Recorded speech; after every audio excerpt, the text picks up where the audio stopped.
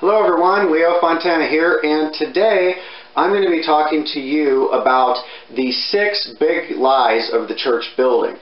And these are six things that I personally have been taught in church buildings that when you compare them to what the Bible actually teaches, uh, they're complete lies from Satan. Now, there are many more than six. Okay, let me say that to start out with. Um, but these are the, the main six that I've noticed that are taught in most professing Christian church buildings. Um, and I've heard many of the brethren around the world that I, that I correspond with uh, have heard these as well, have been taught these in, in church buildings by pastors. And when you look at what the Bible teaches, you can tell very quickly that they're lies. They're just man-made tradition and nonsense. Um, so I want to go over these six in this video. I have a lot of scripture to go over, um, but obviously I can't go over every single verse to cover um, these these six lies I'm going to talk about here. So what I encourage you to do is to look at these on your own. Um, my prayer in making this video is that maybe you're in a church building system right now and you're, you're saved. Maybe you're starting to feel the, the Holy Spirit there lead, leading you out because He will do that if you are saved in a church building. Um, at some point, uh, the Holy Spirit will lead you out of that system. And, and again, my, my prayer is that you will what you will listen to what I have to say in this video. Um, you will think about these things. Maybe these are things you've been taught in your church building. You'll study them further on your own and see that they're just lies. They have nothing to do with the Bible. As I've said before, church buildings have nothing to do with the Bible. They're not in the Bible. They're not commanded by God. Um, they're man-made tradition based on Roman Catholicism and, and pagan paganism before that. So um, again, these are these are what I call the six uh, big lies of the church building, but there are many, many more. Okay, I just want to make that clear before I get started. So I'm going to go over these. We'll look at what the scripture says. Um, and, and, and talk about these six lies because I, I really feel like these six lies I'm going to talk about today are, are, are very key um, because they can lead you down a, a, very dangerous path. They can lead you away from the truth of, of the Bible and of the Lord Jesus Christ. If you're saved, um, they can completely take you take you away from fellowship with the Lord, take away your millennial inheritance. Um, if you're lost, these lies will keep you lost. You will probably not get saved if you believe these lies. So um, that's why I, I, think these are the six most important. And these are the six that I felt the Holy Spirit leading me to discuss today in this video. So what I'll do is I'll go ahead and just read the six first to start out with, and then we'll just jump into number one and start talking about it. So the six lies, uh, or the six uh, big lies of the church building are, number one, everyone is welcome in God's house. That's something I've heard in many church buildings. And when you look at the Bible, um, that's completely uh, the opposite of what the Bible teaches. All right, number two, um, you get lost people saved by bringing them to your church building. I'm sure you've heard that before. Um, I've talked about in other videos, church buildings I've attended, they have these, uh, what I call membership drives, where they have these uh, these things called a bring your, your friend to church day and, and, and all this other nonsense. Um, that's not how you get people saved. And in fact, it's really how you condemn people to hell. Um, and, and, that's what these buildings do. Uh, they create false converts and, and condemn people to hell for the most part. Uh, number three, everyone who says they're a Christian is saved. I'm sure you've heard that before. I've heard pastors say that. You can't question someone's salvation. You can't judge them. You'll hear that word used a lot.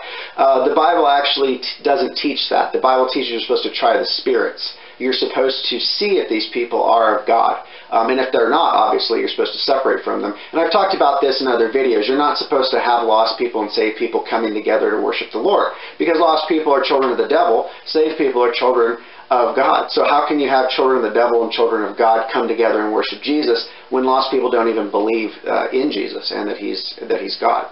So uh, that that's going to be number three, uh, or number yeah number three. Number four, um, as a Christian, you're required to pay God by tithing at least 10% of your income to your church building. I've heard that. I, have heard that taught many times.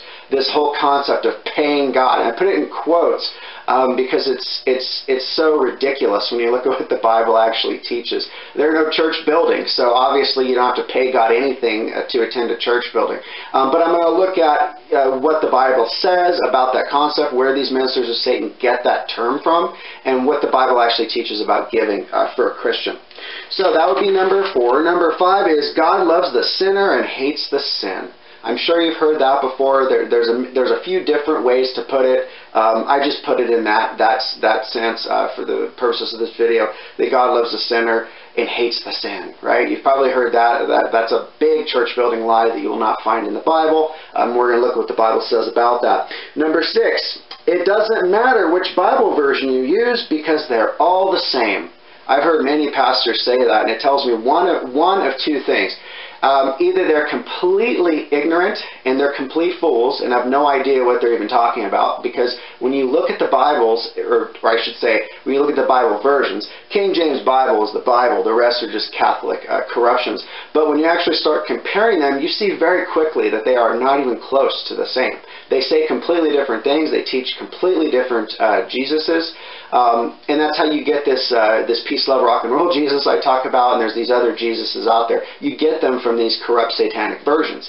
Um, anybody, anybody who reads those Bibles and, and sits down and looks, you can tell very quickly that they're not the same. But I've heard a lot of pastors preach this lie. So again, they're either complete fools and don't understand the, what's going on, and if that's true, they shouldn't be teaching the Bible at all, or they're just ministers of Satan. They know the truth and they just don't care, and they're teaching the opposite for uh, reasons of, of, serving Satan, not the Lord Jesus Christ. So those are the six I'm going to talk about uh, in this video. So I want to go back to number one. Everyone is welcome in God's house. That's the first big church building lie, or, or, or big lie of the church building, that you uh, may have heard in church buildings. I know I have. I know many of the brethren have too.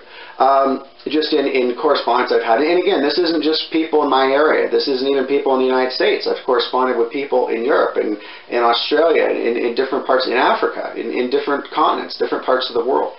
And I hear this a lot, that there's this, this lie that goes around that says that everyone's welcome in God's house. And so I want to look at that uh, because there, th this is really a, a, a two-part issue. Uh, so I want to look at both parts just so you fully understand how much of a lie this is uh, and, and, and, how wicked a teaching this is. Um, it, when you look at the Bible and you look at the Old Testament, the, the house of God, uh, it's also referred to as the house of the Lord. That starts out with uh, with being um, representative of the tabernacle, okay, that first uh, traveling tent that, that the uh, Israelites used when, when um, when God sent Moses to Egypt, and he had the Exodus and led them out of Egypt. Um, and then that goes on into the temple that Solomon builds. So this concept of house of God or house of the Lord, um, it actually starts way back in Genesis. Um, um, originally, and then it kind of just goes up, and it's really in this Levitical priesthood period um, that, that occurs after Moses leads the Israelites out, and they establish the, um, the uh, Levitical priesthood.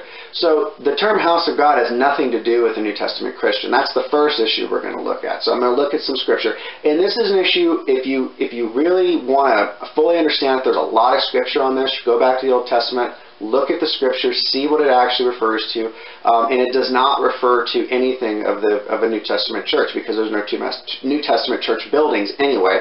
Um, and as we'll see, we're the house of God as the as the New Testament Christian. We're the temple of God. God dwells within us, not temples made of hands, etc. And we're going to look at the scriptures. So. Um, again, this is a two-part issue. We're first going to look at the, the fact that the term house of God has nothing to do with a New Testament Christian, so that makes, the, that makes it a lie right out the bat. Um, the other thing is that the everyone's welcome part, right? I've talked about this in other videos, so I'm going to briefly go over here. Not everyone is welcome um, in a congregation or an assembly because you are not supposed to worship with lost people. You have no business worshiping lost people because they don't worship the Lord. They worship Satan. So what you do is you go and you you you um, you preach, you you evangelize, um, you go out and fulfill the Lord's great commission. You take the gospel to the world. You take the gospel to the lost. And if somebody gets saved, then you nurture them in the Word. Then you bring them into your assembly and, and make them part of your fellowship. If, if you you know if you get somebody saved in your local area and you have an assembly or a fellowship, great. Praise the Lord for that. Um, but you don't you know you don't um, you know bring lost people to your house of God or your or your church building and, and try to get them saved, which is something else we're going to talk about a little bit later. So let's go ahead and look then. I want to look at the term house of God. So let's go ahead and look at First Chronicles. And one thing that I want to say again is that there are a lot of scriptures on this. I could not possibly go through all of them, so I'm really just going to give you a sample here Please study this on your own if you want to know more about it. Um, the house of God has nothing to do with a New Testament Christian, period. Um, but I'm going to look at a, a, few scriptures here that talk about it uh, coming out of the Old Testament. So let's go ahead and look at First Chronicles. And I want to look at chapter 2. And let's go, or I'm sorry, chapter 22. First Chronicles chapter 22. I want to look at verses 1 and 2 first. So verses 1 and 2, chapter 22.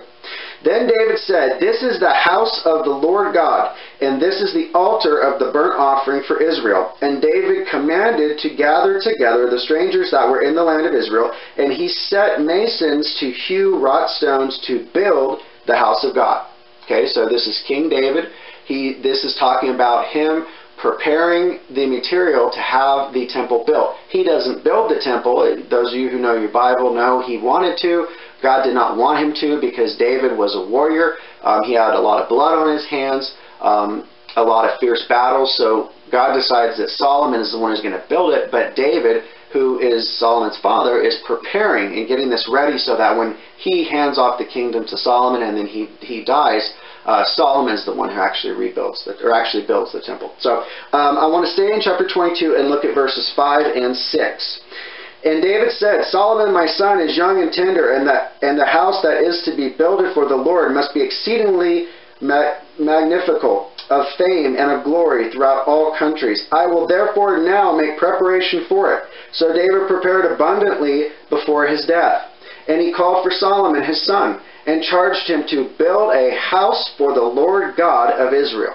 So, amen. So, that is where this, this term house of God, house of the Lord comes from. Okay? And again, it, it does start earlier on. I'm just giving you a, a scripture here that really shows the, the intent of it, which is that temple that Solomon's going to build. Um, it has to do with the Israelites. It has to do with the, the Levitical system. It does not have to do with a New Testament Christian. There's no house of God because, again, there's no church building. But ministers of Satan use the scripture to their advantage. They pervert what is said in the Bible, and they'll say, see, house of God's in the Bible, uh, but it does not relate to a Christian. You have to look at the context upon which it, it appears. Um, so let's go ahead and look at that context. Let's look at 1 Timothy. 1 Timothy. And I want to look at chapter 3. Now, Paul is writing here to Timothy, and you're going to see what the house of God is for a Christian today um, you have to rightly divide the word of truth when you look at Scripture, and you cannot just blindly take a, a few words or a term or a verse out of context. You have to look at who it is applying to, who it is written to, what the context which the verse appears. You can't just say, well, the, the Bible says house of God, therefore every building is a house of God. That's not true. So let's go ahead and look at 1 Timothy chapter 3. And I want to look at verse 14 and 15. So 1 Timothy chapter 3 and verse 14 and 15. These things write I unto thee, hoping to come unto thee shortly. But if I tarry long, that thou mayest know how thou oughtest to behave thyself in the house of God, which is the church of the living God, the pillar and ground of truth. Amen. So the let's go back in verse 15 here. Um, uh, Paul writes, "But if I tarry long, that thou, that thou mayest that thou mayest know how thou oughtest to behave thyself in the house of God, which is the church of the living God, the pillar and ground of truth, or of the truth. Amen. So what we're going to look at here is that Paul is saying that the house of God is the church of the living God, right? This church of the living God. And I've talked about this in other videos. Who is the church? The church is the body of Christ. So let's look at some videos to prove that. You've got to put Scripture with Scripture. You cannot just take verses out of context.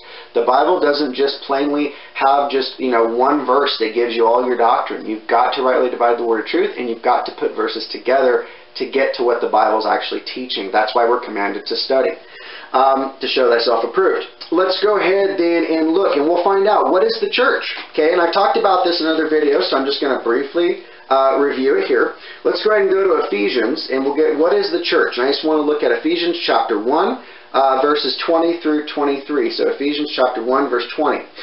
Which he wrought in Christ when he raised him from the dead, this is talking about God the Father, and set him at his own right hand in the heavenly places, far above all principality and power and might and dominion, and every name that is named not only in this world, but also but also in the world to come and hath put all things under his feet, and gave him to be the head over all things to the church, which which is his body, the fullness of him that is fulfilled all in all. Amen.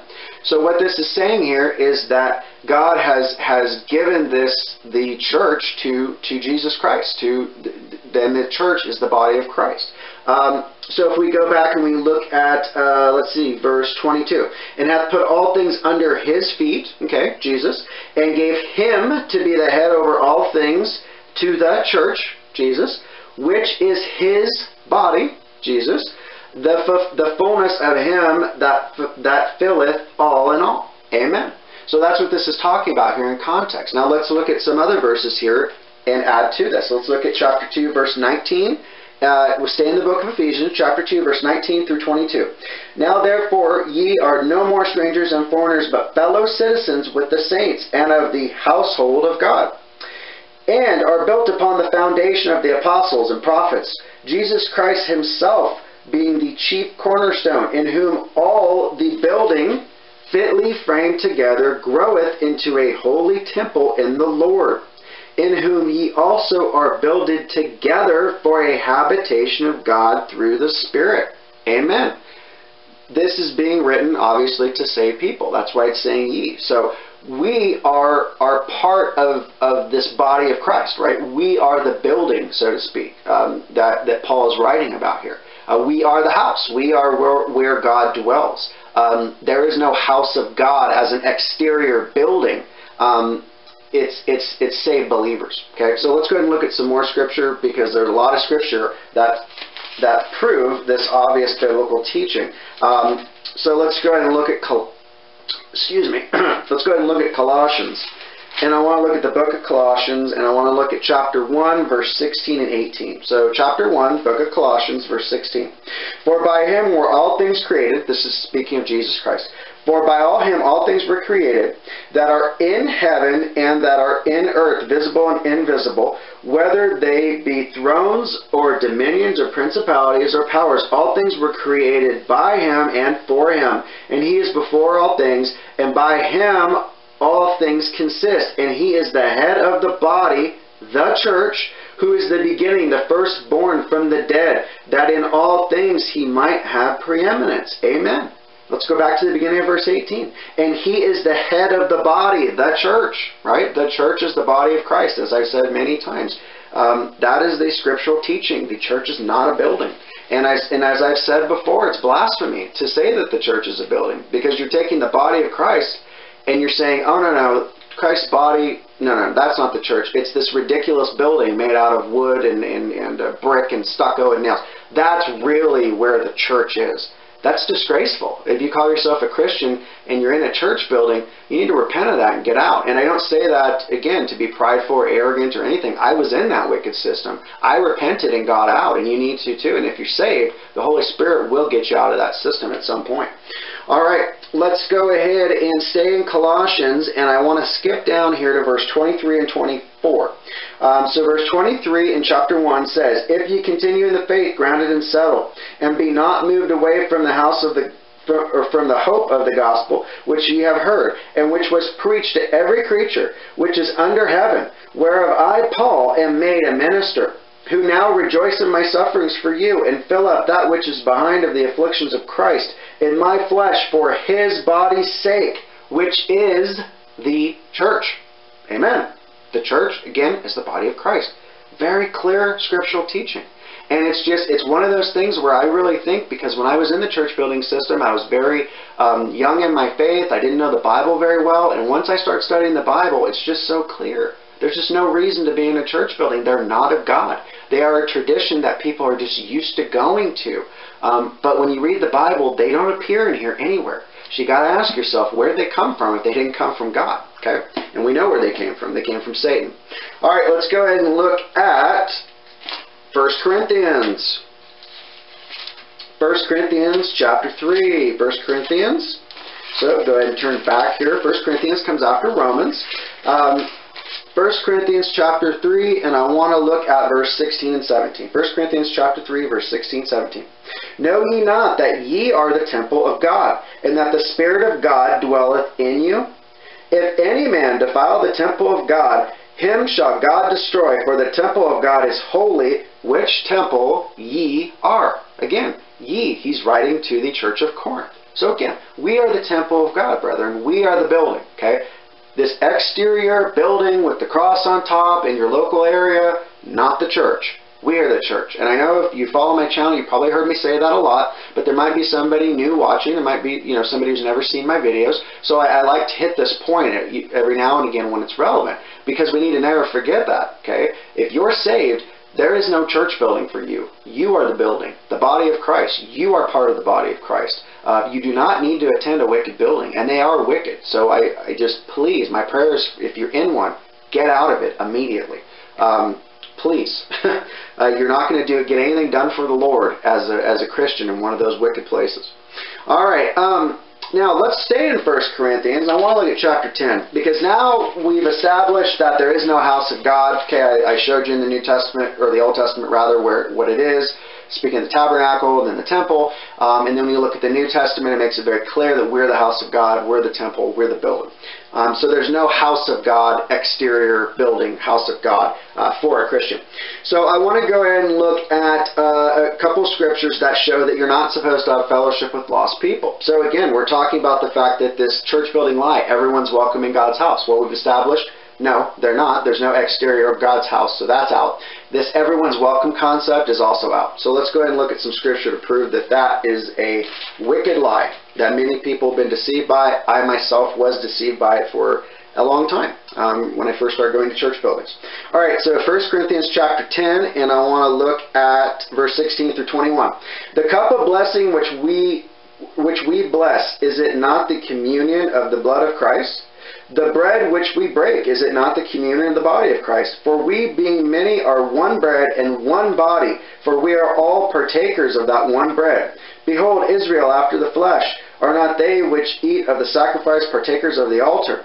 What say I then? That the idol is anything, or that which is offered in sacrifice to idols is anything? But I say that the things which the Gentiles sacrifice, they sacrifice to devils and not to God. And I would not that ye should have fellowship with devils. Ye cannot drink of the cup of the Lord and the cup of devils. You cannot be partakers of the Lord's table and the table of devils. Amen.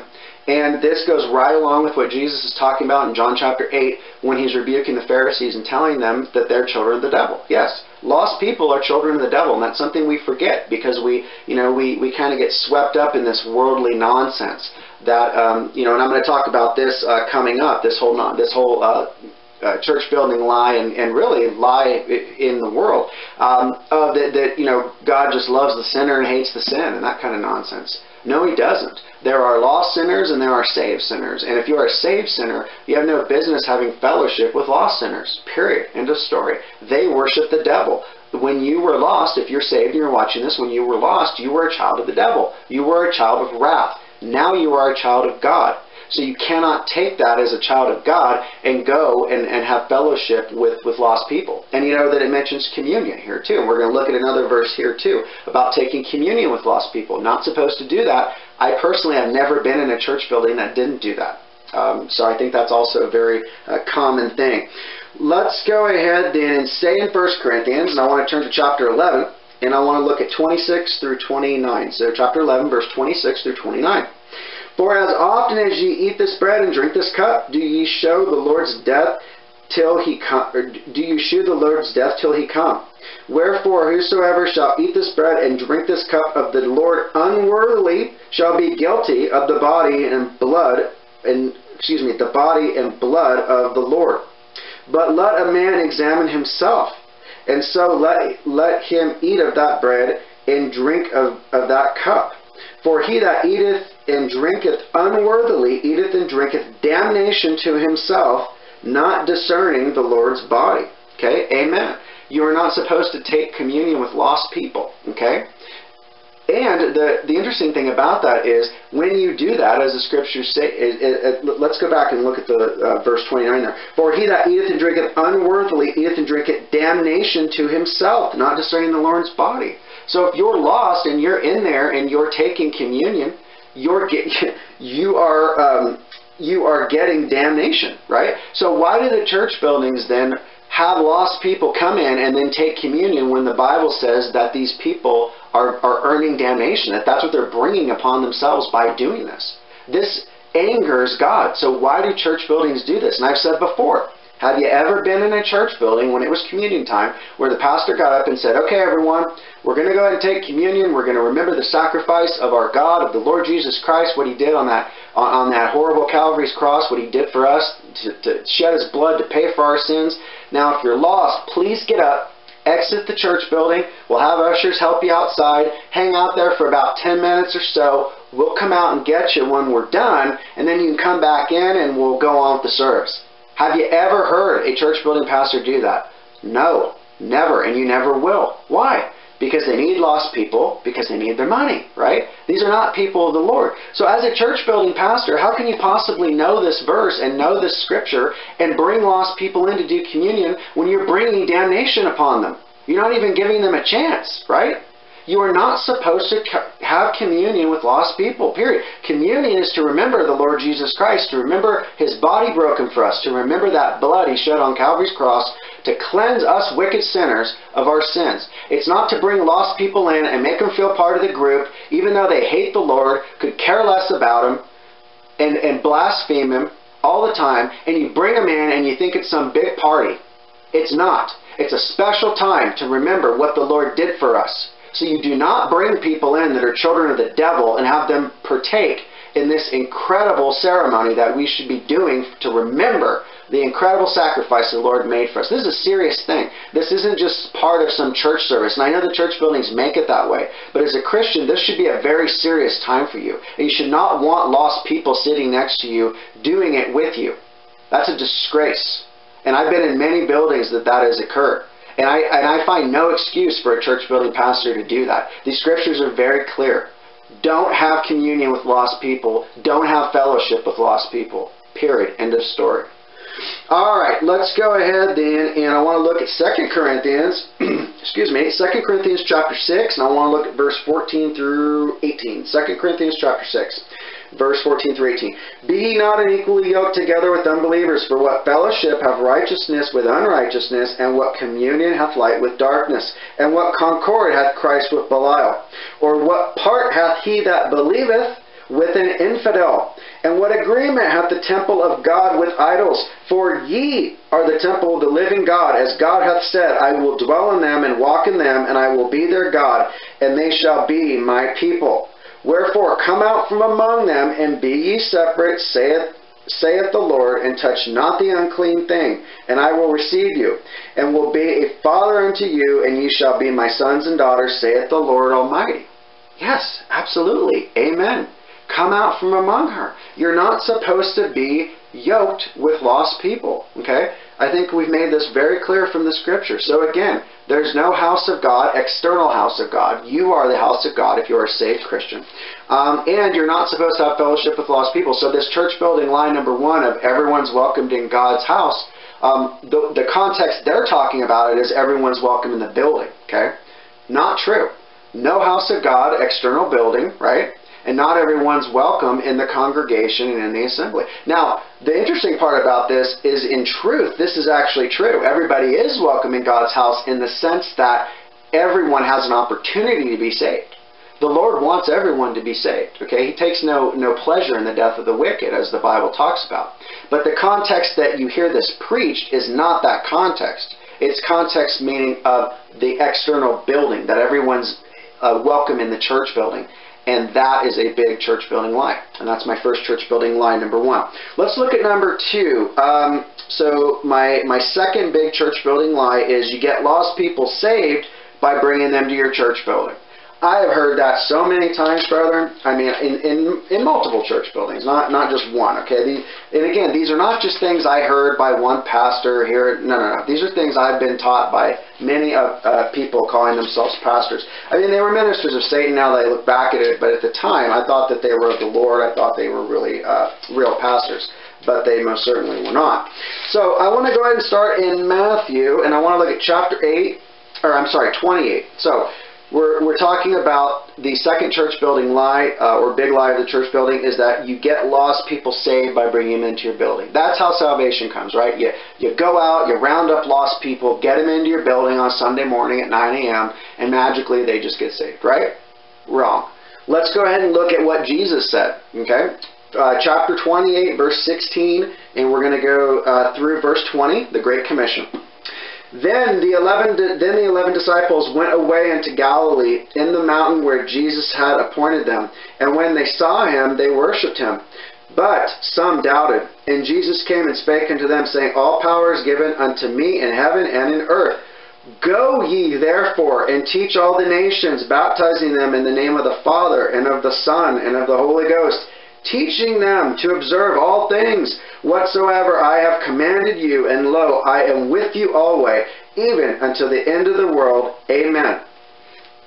The main part of this that I want to focus on is when Jesus says, Go, go, verse 19, Go ye therefore and teach all the nations not go and get people and bring them into my church building that I've built here, right? Jesus didn't have a church building because there were no church buildings. Now, he did go into the temple, obviously, right, to preach the truth and get people saved. Um, but it would be the same thing as if you went into a Jewish synagogue or, or a Roman Catholic uh, cathedral or any of these other um, uh, wicked cult buildings. It's not a church building, in other words, is what I'm trying to say. Jesus never built a church building. He is the building, right? We are part of his body. We are the building. Um, so again, Jesus, the Great Commission, go. He doesn't say go and get, go and round up, go and pick up, right? Uh, don't don't take the chariot and, and go pick people up at you know at, at early in the morning and bring them to my building. No, we're supposed to go to the lost world and preach the gospel. We're supposed to spread the gospel around the world to get people saved. And, and if they reject the Lord, fine. Um, they'll be judged for that, the great white throne judgment. But the point is, it's go. Go out. That's the Great Commission. It's not go and get and bring back. Okay? All right, I want to look at Mark. Excuse me, Mark's the next gospel. And I want to look at chapter 16. I just want to look at one verse. Now, this is a this is also um, um, let me see here, verse 15. This is also talking about the Great Commission. Um, it's talked about in, in, in Matthew and then it's talked about in Mark. So I'm not going to read all the verses. I just want to read one verse here, verse 15, um, because this just hits on that same idea that I was just talking about. So uh, Mark chapter 16, verse 15. And he said unto them, Go ye into all the world and preach the gospel to every creature. Let's read that again. Go ye into all the world and preach the gospel to every creature. Amen. Jesus doesn't say, go ye into all the world and get everyone and put them in your chariot and bring them to the church building. Go ye. Get up. Go to the world. Go to every nation. Preach the gospel to every creature. Not bring them all into your building. Okay? So, again, satanic lie. Okay? That's the second uh, big church building lie that we're going to be talking about. That's just an introduction there, okay? So again, you don't go out and bring people in your building and get them saved. That's absolutely wicked. Let's go ahead and look at Ephesians. So let's go out of the gospel, go into the Pauline epistles, and I want to look at Ephesians. So, book of Ephesians, uh, chapter 2, verse 8 and 9. If you know your Bible, you definitely know these verses. So, book of Ephesians, chapter 2, verse 8 and 9. For by grace are ye saved through faith, and that not of yourselves. It is the gift of God, not of works, lest any man should boast. Amen. Okay, that's uh, verse 8 and 9. So let's look at that again. Verse 8. For by grace are ye saved through faith, and that not of yourselves. It is the gift of God not of works, lest any man lest any man should boast. Amen. That's how salvation comes. Salvation comes through faith in the Lord Jesus Christ. God gives us that opportunity through His incredible grace, which we don't deserve, myself included, by the way. So because of God's grace, we have the opportunity to place our faith in the Lord Jesus Christ. Okay? That's how you get saved. And as we're going to see when we look at a few other verses here, that can be done anywhere. It doesn't have to be done in a church building. Okay? So again, that's how you get saved. It's not, um, you know, by, by God's grace, um, are you saved through faith after you bring people into the church building? No, no. There's no building at all. There's no works at all. It's by faith in the Lord Jesus Christ and what He did for us and His shed blood on Calvary's cross. All right, let's look at Titus. Go ahead and flip over here. Stay in the Pauline epistles, but go ahead and flip over to Titus, okay? So Titus, little, uh, very uh, short book, but a lot of good scripture in there. Let's go ahead and look at Titus chapter 3, verse 5. Not by works of righteousness, which we have done, by according to the mer- but, but according to his mercy he saved us by the washing of regeneration and the renewing of the Holy Ghost. Amen. So again, we're, it's not by works of righteousness that we have done, okay? But according to his mercy, according to God's mercy, according to his incredible grace, he provides us this opportunity. Because without that mercy, without that grace, our faith would be meaningless. Because God wouldn't be providing us the opportunity, but because he's merciful, okay, because he's righteous, because he's just, he provides us wicked sinners an opportunity to get saved. We, we take that opportunity by placing our faith in the Lord Jesus Christ. It has nothing to do with bringing people into your building. Um, by, by the washing of regeneration and the renewing of the Holy Ghost. Amen. You are regenerated. You are a new creature in Christ er, Jesus. Excuse me. When you get saved, there are changes that occur. Okay? Repentance is part of salvation. We're going to look at some verses on that too. It's not this believe and receive Rick Warren nonsense that you hear preached in the modern church. You are changed when you get saved. And if you have ever been changed by that experience, you know exactly what I'm talking about. And if you haven't, please get on your knees and get saved because you are not saved if there's no new creature. Period. You cannot ignore those verses, and we're going to look at some other verses on repentance. You cannot ignore those and just say it's believe and receive. That's nonsense. Repentance is not a work. It's part of the salvation process. All right, let's go ahead and look at Acts. So let's go back here, Book of Acts, and let's go ahead and look at chapter 20. So, Book of Acts, chapter 20. And let's go ahead and look at 17 through 21. So, Book of Acts, chapter 20, uh, 17 through 21, and this is going to be Paul addressing the Ephesian elders, so the church of Ephesus, the body of believers in Ephesus.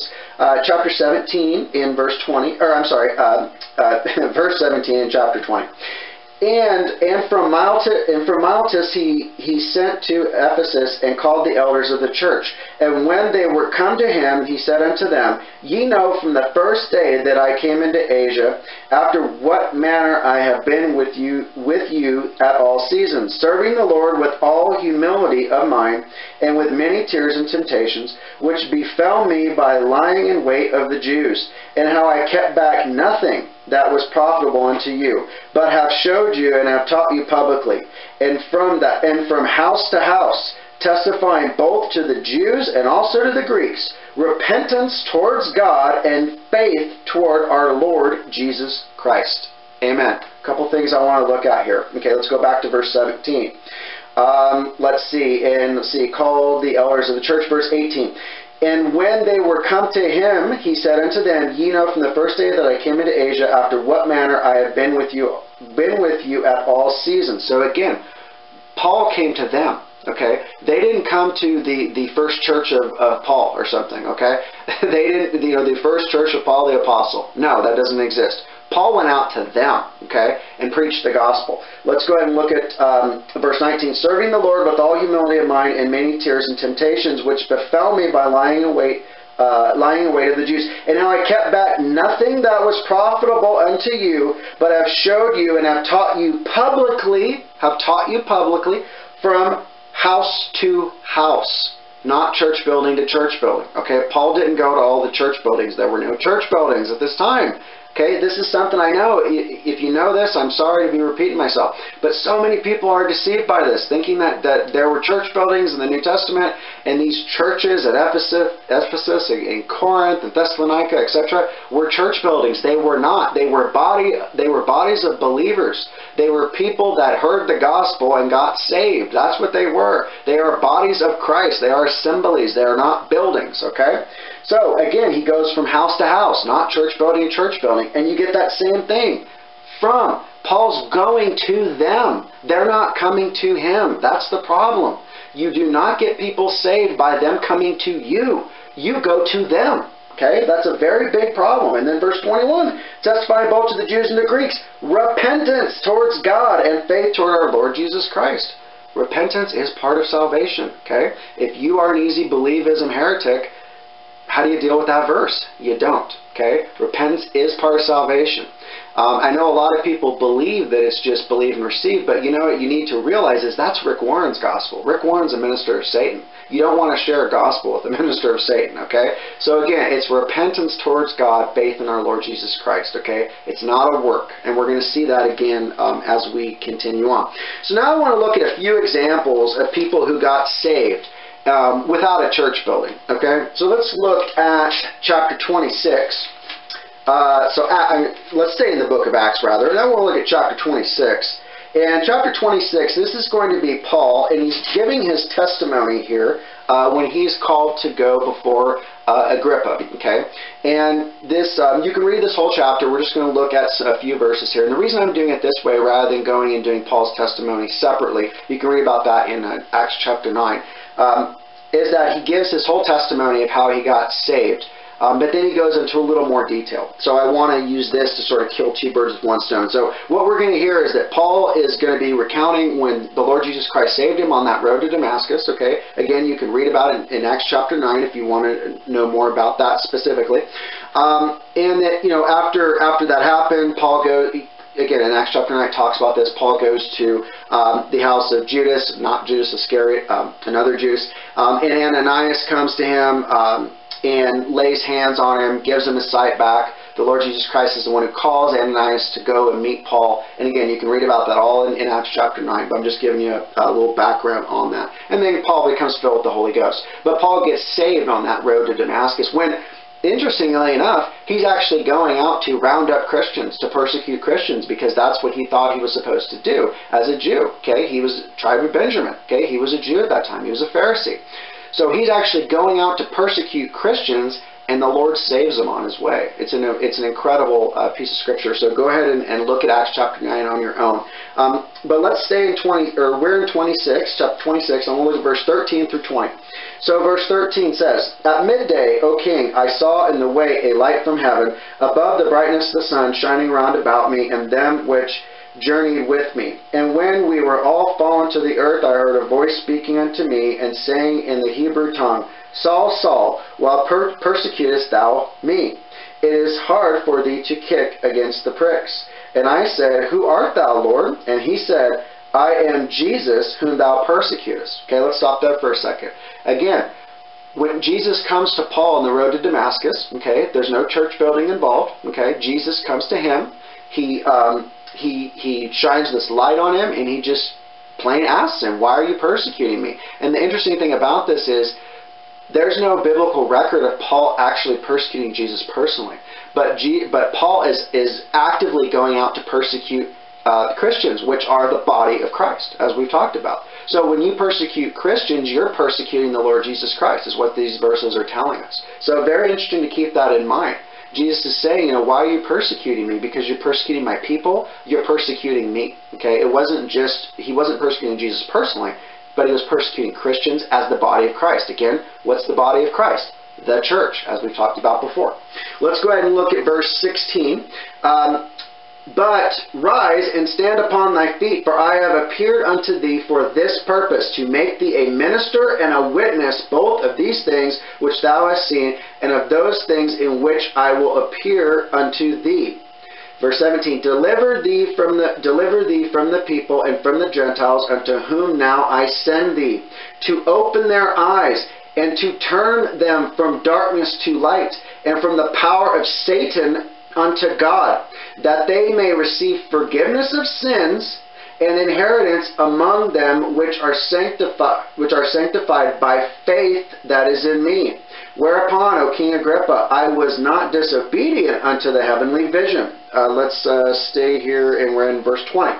But showed first unto them of Damascus and at Jerusalem and throughout all the coasts of Judea and then to the Gentiles that they should repent and turn to God and do works meet for repentance. Amen. So let's go back here. I, I want to just go back a couple of verses here. Let's look at verse 18, okay? To open their, this is Jesus Christ speaking to, to Paul, to open their eyes and to turn them from darkness to light and from the power of Satan right, the power of Satan, unto God, that they may receive forgiveness of sins and inheritance among them which are sanctified by faith that is in me. So again, turn them from Satan unto God. When you are lost, you are a child of the devil, right? So that's what that's what Jesus is instructing Paul to go preach the gospel, to turn people from that wickedness, to turn them to the Lord Jesus Christ, to God, to the truth. Jesus is the way, the truth, and the life. Let's look at verse 20. This is key. But showed first unto them in Damascus and in Jerusalem and throughout all the coast of Judea, and then to the Gentiles that they should repent, repent, and turn to God and do works meet for repentance. Amen. Works meet for repentance meaning not works to be saved. No, no, no. Okay? That when you are saved, works will follow. Okay? Because you are a new creature in Christ Jesus. You are not the same person anymore. You've been turned from death unto life.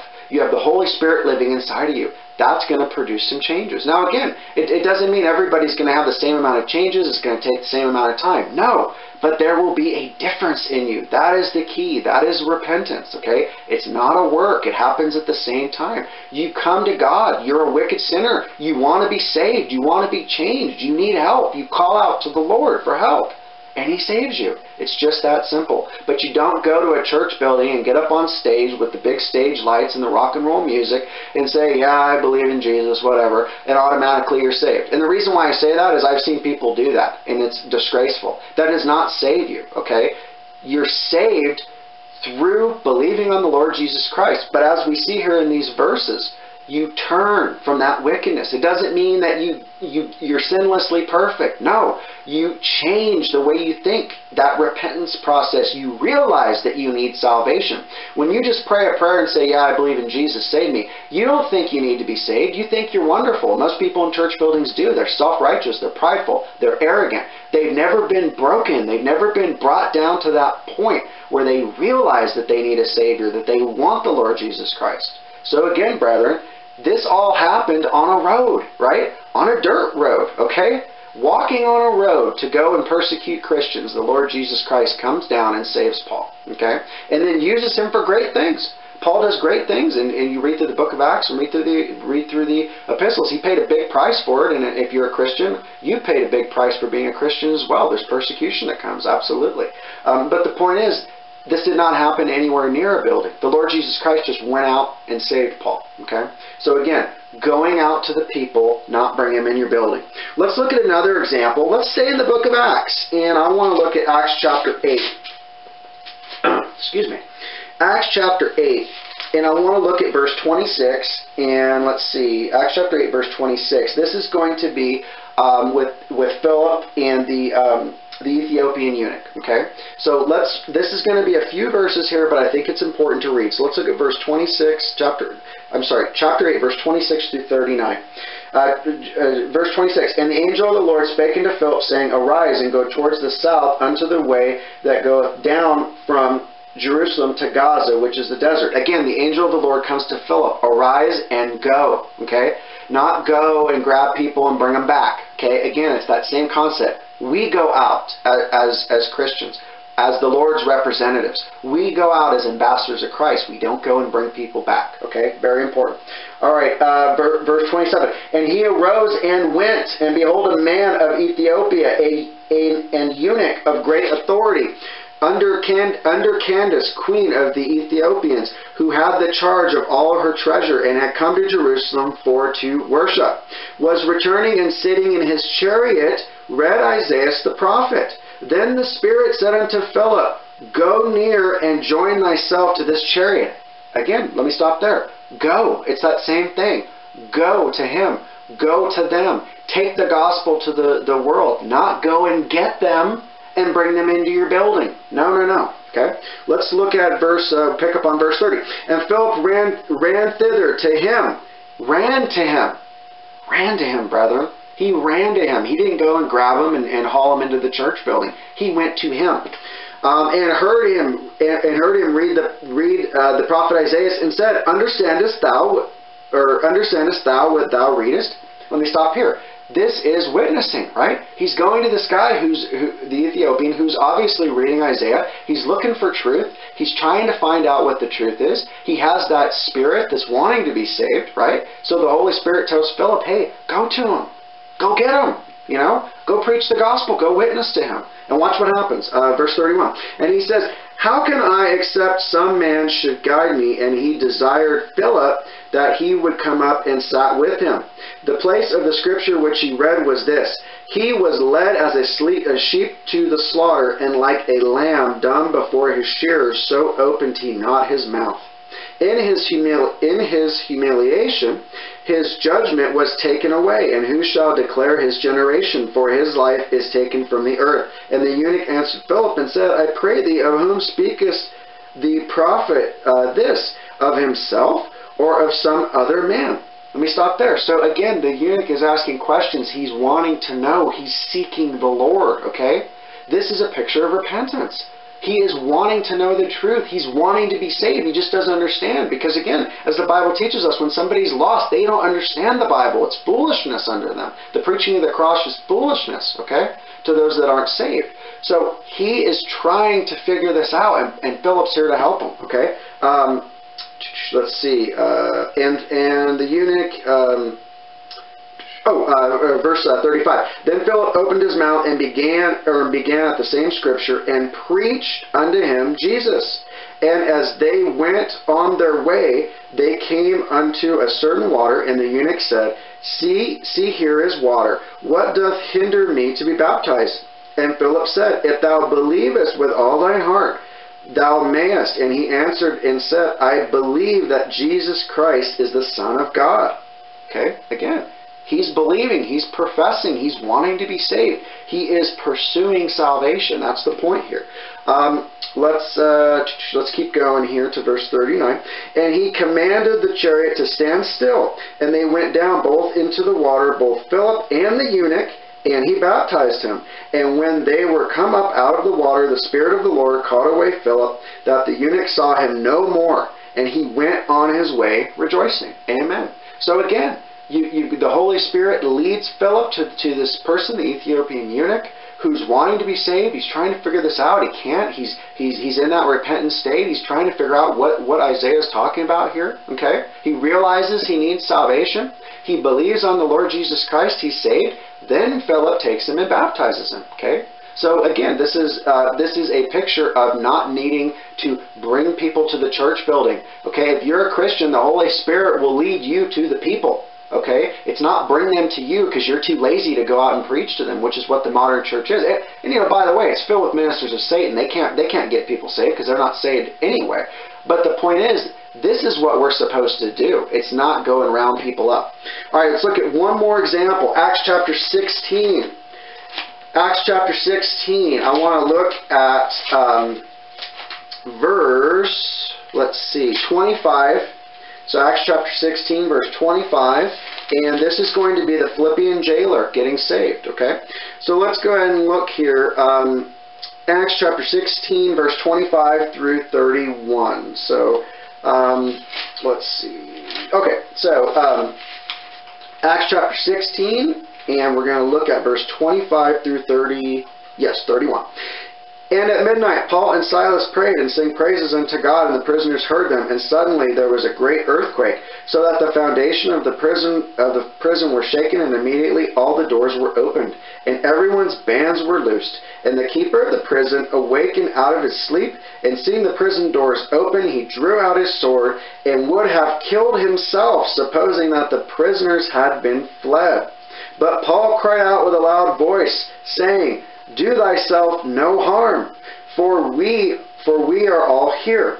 Then he called for a light and sprang in and came trembling and fell down before Paul and Silas. So again, this prison guard is coming out and, and he's trembling. That's a picture of repentance. He realizes what is going on. He realizes the power of God that's taken place. And he's wanting to be saved right? Now, this is not, this is occurring in a building, right? It's occurring in a prison. People get saved in prisons all the time. My point is that you don't get, you don't get people saved by rounding them up and bringing them to your church building on Sunday morning at 9 a.m. Salvation can happen anywhere. Let's keep reading. And verse 30. And brought them out and said, Sirs, what must I do to be saved? Again, he's seeking the Lord. He is in that picture of repentance. He's trying to be saved. He's realizing what is going on here. And they said, Believe on the Lord Jesus Christ, and thou shalt be saved, and thine house. Um, and what he's talking about there is just believe on the Lord Jesus Christ and thou shalt be saved. And when he's saying thine house, he's not saying that, oh, and by the way, your whole family automatically gets saved. No. This is showing, and it goes on to talk about this more um, in verses 32 through 34, which I'm not going to read for the sake of time. Um, the way that you, that people in your house, people in your family because you have the light of Christ, because you're saved, because you have the Holy Spirit in you, they will see that. And if they're wanting salvation, they can get saved too. It's a great way that, that, that the Lord does that. Um, the way that somebody in a family gets saved, and then that person's able to get other people saved. It doesn't always work that way, but that's what we're talking about here. Or that's what the verses are talking about here. So again, the Philippian um, uh, jailer, okay, he was not saved in a church building. Paul and, and, and Silas didn't say, okay, we're out, great go ahead, come with us. We're going to go out to our church building and we'll get you saved. No, that he got saved right there. Okay, so again, you do not need the church building um, to be saved. Let's go ahead and look at one more set of verses here. I want to look at Luke. And let's look at Luke chapter 23. So let's go ahead and look at Luke chapter 23, and I want to look at verse 39 through 43. So, uh, Luke 23, verse 39 through 43. And one of the malefactors which were hanging railed on him, saying, If thou be Christ, save thyself and us. But the other answering rebuked him, saying, Dost not thou fear God, seeing thou art in the same condemnation? And and we indeed justly, for we receive the due reward of our deeds. But this man hath done nothing amiss. And he said unto Jesus, Lord, remember me when thou comest in thy kingdom, into thy kingdom. And Jesus said unto him, Verily I say unto thee, today shalt thou be with me in paradise. Amen. So this is what's going on in the cross when Jesus is is is uh, between the, the two people on the side of him. And this guy gets saved because he realizes who Jesus is. He believes on Jesus, and Jesus saves him right there. He doesn't say, well, wait, wait till we're off the cross and we'll go into the church building, or sorry, if we weren't being crucified, I'd take you to my church building and get you saved. No, he gets saved hanging on a cross a few minutes before he dies, maybe in a few seconds before he dies, because he believes on the Lord Jesus Christ and he's repentant. He realizes he needs to be there. He realizes he's a sinner. He realizes he deserves death. But Jesus does not deserve that. He realizes Jesus hasn't done anything wrong. Again, picture of repentance. Very simple, okay? This guy gets saved hanging on a cross maybe seconds before he dies. Okay. So again, brethren, um, this second point here that you get you get people saved by bringing them to your church building um, is absolutely unscriptural, as you can see. Okay. Now, can people get saved in church buildings? Sure. People can get can get saved in jails. People can get saved in in in um, whorehouses. People can get saved in a school. People can get saved in a backyard, in a home, anywhere. Okay. The point is Salvation is not through bringing people to your church building, okay? It's taking the gospel to them, and that salvation can happen anywhere. So let's go ahead then and look at my third big lie of the church building, which is that everyone who says they're a Christian is saved.